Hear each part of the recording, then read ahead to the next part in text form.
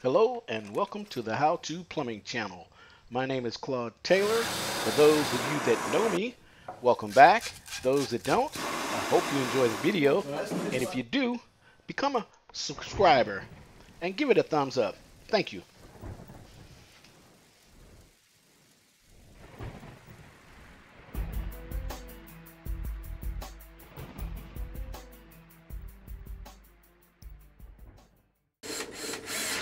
Another thing that I see that that uh, that's really kind of frustrating is that once uh, these are in place, I've gone to homes where the uh, whoever installed the tub and shower valve, you can see right there, they see that angle. If you have half inch drywall, then the tile, it comes out just right. But anyway, they have that shield on there and that bracing and uh, the shield they leave it on there. So when you go to pull it off, you have to fight to get the thing off of there so that you can get access to the uh, get access to the uh, tub and shower valve. Well, anyway, here we are. This is the uh, main water coming into the house. We're on the uh, side of the garage. So what we're going to do is we're going to cut this section out, and we're going to put uh, we're going to come back with new uh, galvanized pipe. We're still going to use some galvanized pipes, just uh, enough right here to uh, make it nice and rigid and sturdy so that when you go outside, cut that valve off and on, you have a nice sturdy piece of pipe to uh, hang on to.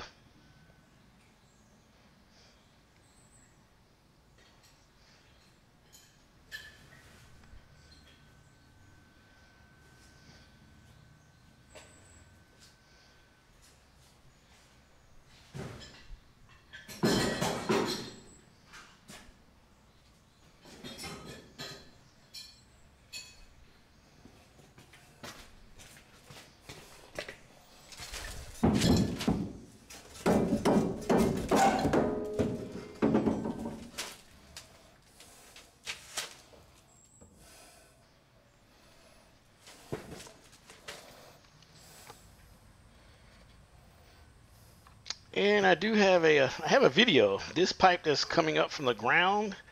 Uh, I actually did a video on that where I brought, uh, I ran new PEX pipe from that valve all the way to the uh, to the uh, water meter. So I'll leave a, will uh, leave a link to that in the description below also.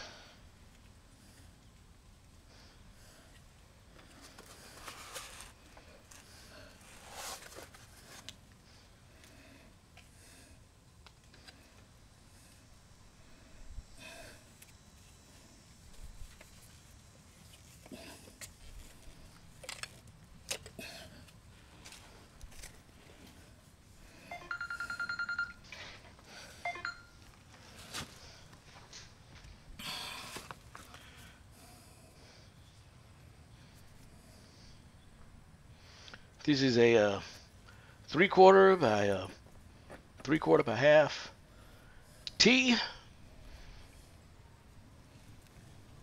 The half inch is going to be for the uh, outside faucet where, you know, in case you want to water the grass or something.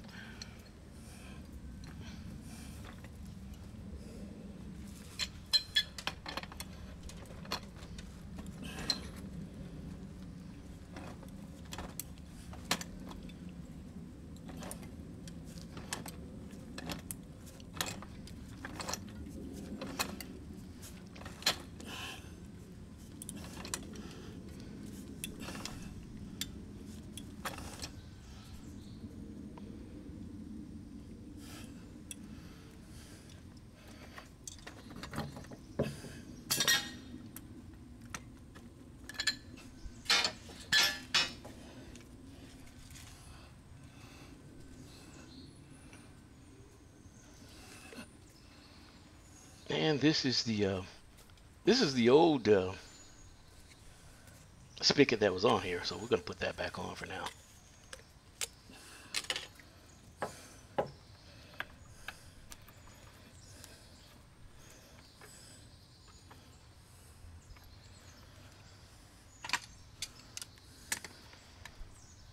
And not only is the water off to the uh, valve right there, it's off.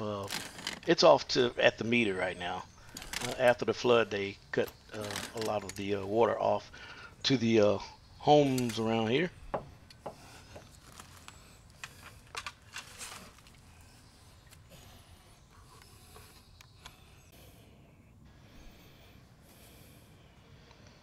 Yeah, we're back to manifold and all of the work you just see me do is in preparation to run the uh, main uh, cold water line over to the uh, to here. But uh, first what we're going to do, uh, of course we're using red and red is always an indication of hot. But this red is going to go from the ManaBloc over to where the uh, hot water heater is going to be,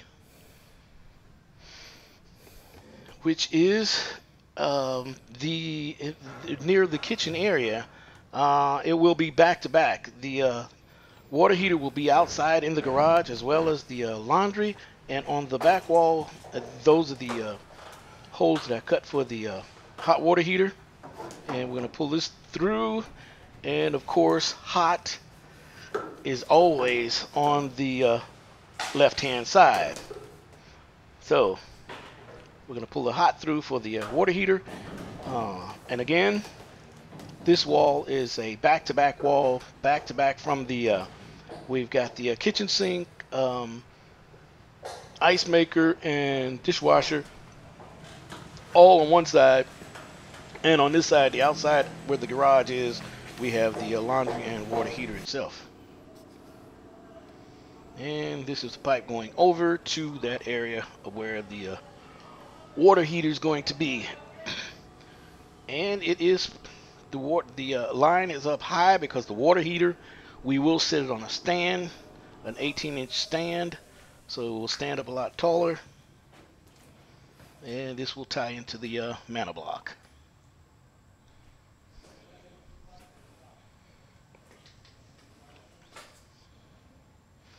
The uh, one thing about PEX pipe, you do want flexibility in it, so you don't want to stretch it too tight because you want it to be able to expand and contract, expand and contract because that's what it's going to do throughout the uh, course of the uh, life of the uh, pipe itself. And here are some more lines that we ran. And this is a half inch and here's the three quarter inch coal for the uh, hot water heater.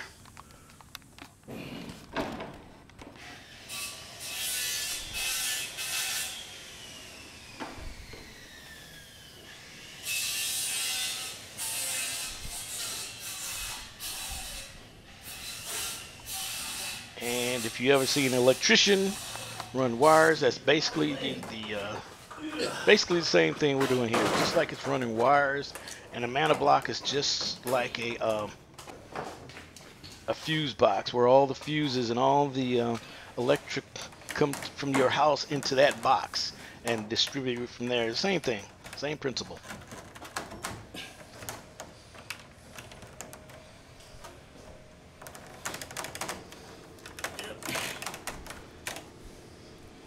Okay, now pull the pool kitchen sink. Now, can you see me good? And what you see, uh, you see, see me hammering on here right now is the anchor, and these are called talons. Uh, they're very popular with the uh, PEX system.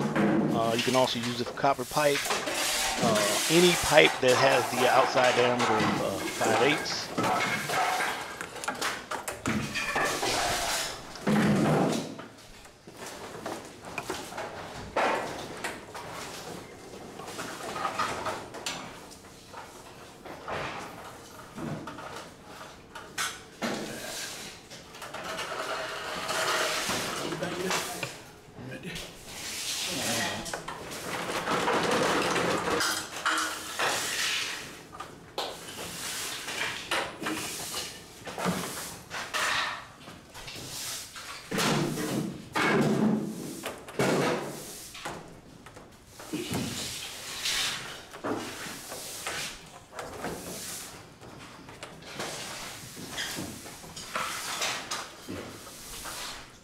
If you're going to, uh, you know, run PEX pipe, uh, a second hand wouldn't be uh, bad. Uh, having someone giving you a second hand helping you out.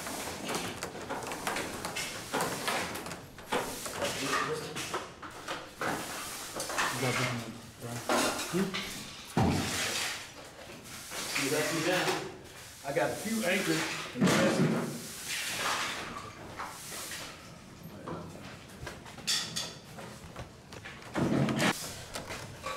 So what was that right there? Kitchen sink. Yeah, run another. Well, that's the dishwasher. Oh. I got three.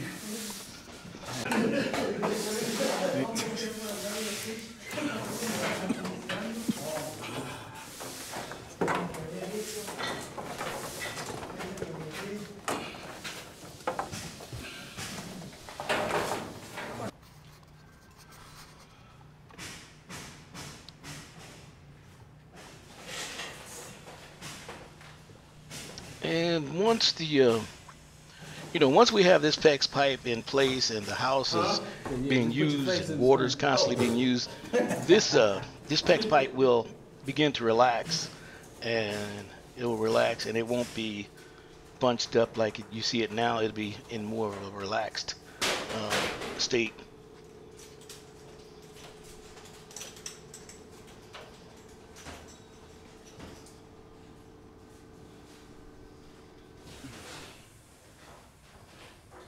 And of course, that red one right there, we're going to need to pull that a little tighter.